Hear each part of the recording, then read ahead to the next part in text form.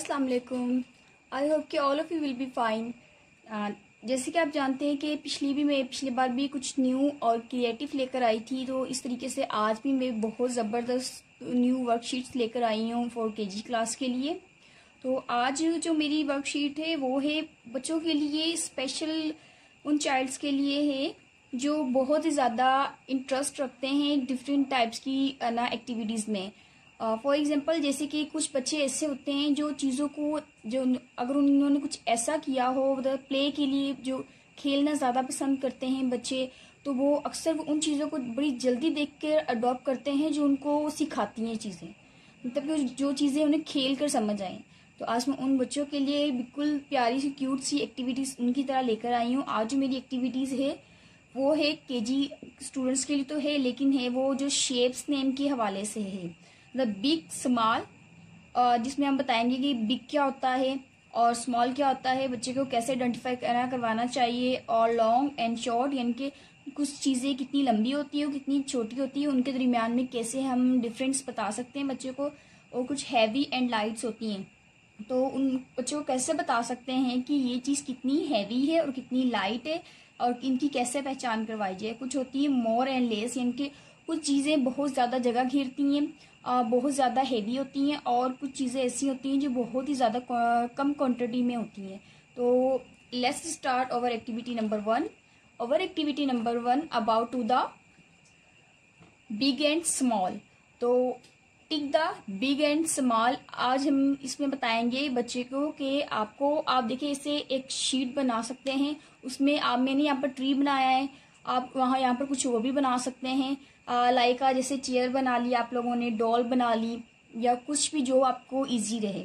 तो इसमें हमने बच्चे को पहचान करवानी है कि, देखिए, मैंने यहाँ पर ये चीज़ बहुत कम डिफरेंट रखा है, ताकि बच्चे को जब जब भी बच्चा एक्टिविटी करता है तो कोशिश किया कोशिश किया करे कि वो बच्चा खुद करे। हम एक या दो मतबा बच्चे को बताए, तीसरी मतबा बच्चा खुद करे, क्योंकि जब तक हम खुद नहीं करना सीखते हैं तो हम लोग कभी भी नहीं कुछ कर पाते तो आपको बताना है कि देखिए बेटा इनमें सबसे आप जो बिग बड़ा, मतलब कि बड़ा कौन सा है और स्मॉल कौन सा है?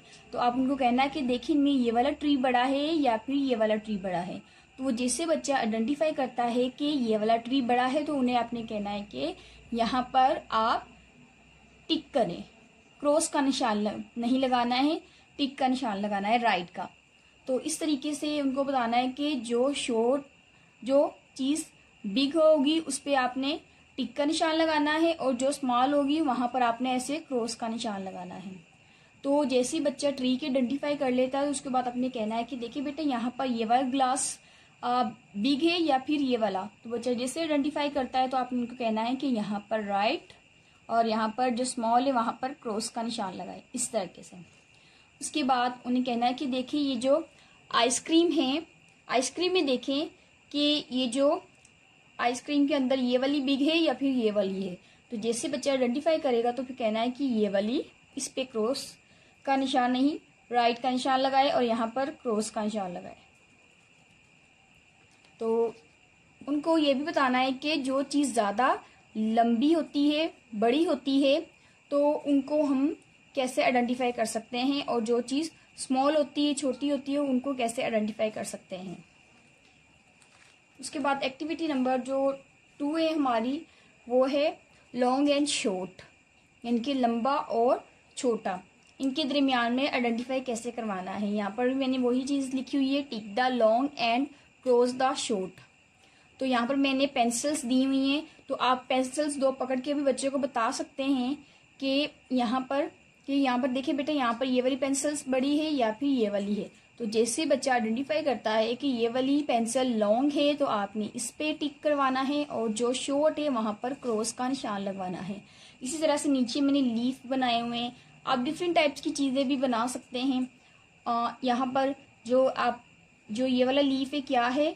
शॉर्ट बिग शॉर्ट है। तो यहाँ पर आपने क्रॉस का निशान लगाना है। और इसी तरीके से यहाँ पर लॉन्ग है तो लॉन्ग के लिए हमने राइट का निशान लगाना है। इस तरीके से यहाँ पर स्पून बनाए हुए मैंने यहाँ पर। तो आपने ये ये वाला शॉर्ट है तो आपने यहाँ पर क्रॉस का निशान लगवाना है और ये वाला लॉन्ग है तो यहाँ पर आपने राइट का। इस तरह से मैंने बाल बनवाया, बनाई हुई है। तो ये बाल जो मैंने बनाई हुई है, यहाँ पर आप ये वाली बिग लॉन्ग है और ये वाली शॉर्ट है। आई होप कि ये वाली एक्टिविटीज़ आपको बहुत अच्छे से समझ आ रही होगी। इसी तरीके से हम दूसरी एक्टिविटी नेक्स्ट स्टार्ट करते हैं activity number three this activity about to the heavy and light कि हम बच्चे को बता सकते हैं कि जो चीज़ ज़्यादा वज़न में हो, भारी हो, वो हैवी होती है और जो बिल्कुल जिसका वज़न बहुत कम हो तो वो बहुत ज़्यादा लाइट होती है। तो इसी तरीके से यहाँ पर मैंने यहाँ पर एक ताला बनाया हुआ है और यहाँ पर चाबी बनाई हुई है। तो आप उन्हें कह सकते हैं कि, बेटा, बताएँ, ज़्यादा ताला हैवी होता है या फिर चाबी हैवी होता है? बच्चे इजीली आइडेंटिफाई कर सकते हैं। आप इसको ऐसे भी कर सकते हैं कि अपने पास रखकर बता सकते हैं कि, ये देखिए, इसको उठाकर देखिए ताले को और इस ना, चाबी को उठाकर देखिए। वो इजीली आसानी से आइडेंटिफाई कर लेंगे। उसके बाद टिक लगाना है हेवी पर और लाइट पे आपको क्रॉस लगाना है। इसी तरह से मैंने बुक और पेंसिल बनाई हुई है। और बुक और पेंसिल्स का भी बड़ी अच्छी एग्ज़ाम्पल है। इसके लिए हम क्या कर सकते हैं? बुक और पेंसिल अपने पास रख सकते हैं और उन्हें बता सकते हैं कि ये देखिए उठा के देखिए कि पेंसिल ज़्यादा हैवी है या फिर बुक ज़्यादा हैवी है। तो वो इजीली बता देंगे कि बुक ज़्यादा हैवी है। लाइक like, जैसे कि उन्हें उठाकर बता देंगे। तो इस पे हम राइट लगा देंगे और यहाँ पर हम क्रॉस का निशान लगा देंगे। इसी तरह से मैंने एक केटल बनाई हुई है और साथ में एक कप बनाया हुआ है। तो वो चाय की जो केटल है, वो ज़्यादा हेवी होती है या फिर चाय का जो कप ज़्यादा हेवी होता है। तो वो इजीली बता सकते हैं कि चाय की जो केटल है, वो इजीली बहुत ज़्यादा हेवी होती है और जो कप होता है, बहुत ज़्यादा लाइट होता है। और यहाँ पर मैंने एक बोतल बनाई हुई है, साथ में एक यहाँ पर छोटे थर्मास टाइप का एक मग बनाया हुआ है। तो आप बता सकते हैं कि ये ज़्यादा हैवी है या फिर ये बोतल ज़्यादा हैवी है? तो ये ज़्यादा हैवी है और बोतल यहाँ पर उसका वज़न कम है।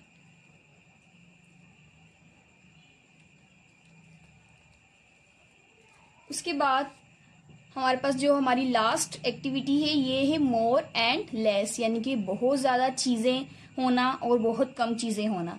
तो इसमें ज़्यादा इजीली ना बच्चा भी इजीली इसमें आइडेंटिफाई कर सकता है। जैसे यहाँ पर मैंने यहाँ पर तीन फ्लावर बनाए हुए यहाँ पर मैंने चार बन, बनाए हुए तो आप बता सकते हैं कि बताएँ इसमें ज़्यादा फ्लावर है या फिर इसमें ज़्यादा फ्लावर है? तो बच्चा इजीली बता देगा काउंट करके भी बता देगा क्योंकि उससे जब काउंटिंग आती होगी तो वो इजीली बता सकता है। वो बताएगा कि इसमें ज़्यादा है फ्लावर तो इसलिए ये ज़्यादा मोर हो गए।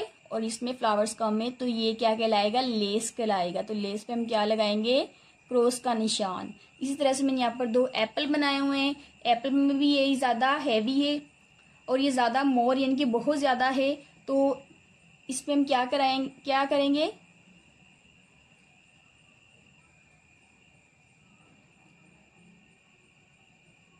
और ये बहुत कम मिकदार में है। ये आप देख सकते हैं कि यहाँ पर मैंने दो एप्पल बनाए हुए हैं। तो ये दो एप्पल, एक बहुत ज़्यादा यह है, यानी कि मोर है और एक बहुत कम है।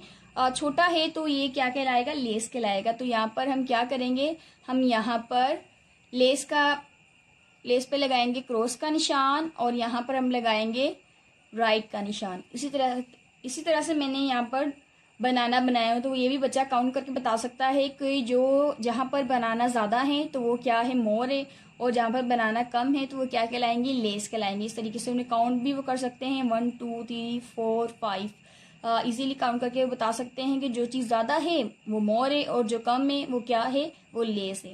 तो यहाँ पर राइट का निशान और यहाँ पर क्रॉस का निशान लगाएँगे। उम्मीद करती हूँ कि मेरी ये वीडियो आपको बहुत पसंद आई होगी। इनशाला हम नेक्स्ट वीडियो में मिलेंगे। इससे भी ज़्यादा कुछ अच्छा कुछ प्यारा सा बच्चों के लिए लेकर आएँगे और जिसके साथ हमारे बच्चे बहुत ज़्यादा, जिसके साथ बच्चे बहुत ज़्यादा सीखेंगे और बहुत ज़्यादा उनका माइंड क्रिएटिव हो जाएगा एक्टिव हो जाएगा इन समर वेकेशंस में। और समर वेकेशंस के बाद भी ताकि उनको जब वो न्यू क्लास में जाए या फिर अपना न्यू स्कूल स्टार्ट करे तो वो इजीली कुछ चीज़ों की उसे ना पहचान कर सके। क्योंकि जब तक हम बच्चों को खुद टाइम नहीं देंगे तो बच्चा कभी भी नहीं सीख पाएगा। आ, घर में भी बच्चों को लाजमी होता है टाइम देना। जिस तरीके से स्कूल में टीचर्स होती हैं उनको टाइम देती हैं इस तरीके से घर में भी जो पेरेंट्स होते हैं वो बहुत ज़्यादा हेल्प करते हैं बच्चों के लिए बिल्कुल एक्टिव रहने के लिए। क्योंकि बच्चे जो होते हैं एक से एक छः साल से की जो कम एज होती है मत, मतलब कि एक साल से लेकर पाँच साल के अंदर अंदर बच्चे बहुत ज़्यादा सीखते हैं। उनके लिए जो न्यू ट्रिक्स होती हैं न्यू एक्टिविटीज़ होती हैं उनका माइंड बिल्कुल बहुत ज़्यादा एक्टिव हो जाता है उनके दरियाना इन एक्टिविटीज़ की वजह से। उम्मीद करती हूँ कि आपको ये वीडियो बहुत पसंद आई होगी। अपना ख्याल रखिएगा टेक केयर हम नेक्स्ट वीडियो में मिलेंगे इन अल्लाह हाफिज़।